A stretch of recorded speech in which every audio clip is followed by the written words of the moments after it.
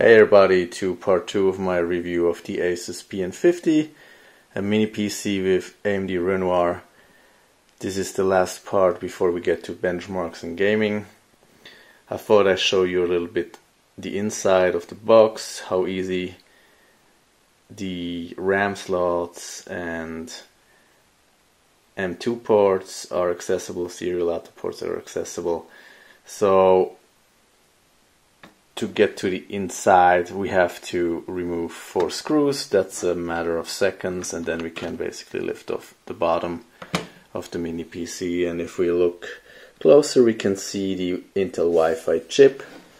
Then here the two DDR4 SODIMM slots that can take up to DDR4 3200 then here we have the M2 slot. Uh, if you can see it yeah there. And a serial ATA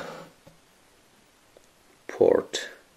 So an M2 slot, serial ATA and two SODIMM slots for RAM. Very easily very easy accessible. And uh, after I did all my testing I want to have a look if I can make a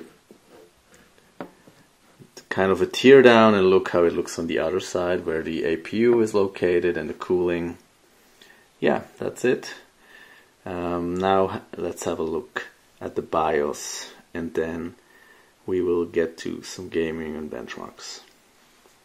Let's have a quick look at the BIOS. Uh, I'm sorry I have to record it with my phone, so it's a bit shaky, but you're probably already used of that if you are on my channel.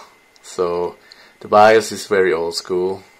It's actually the way I like it to be. I don't, I'm not a fan of those fancy colorful BIOSes we have nowadays. So let's just get through the options. We have the MCTP configuration, and Dash, Realtek, Trusted Computing, Then serial port console redirection, won't probably use that. USB configuration, that's should be that should be known to everybody.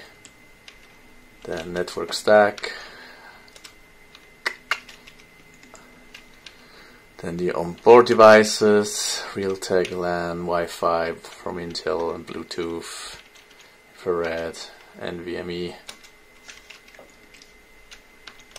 Advanced power management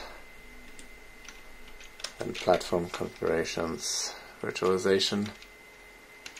Then if we go to the monitoring tab you can see the temperature the CPU fan speed is pretty high and it's very audible at the moment in this normal mode. I will test the loudness and temperatures later.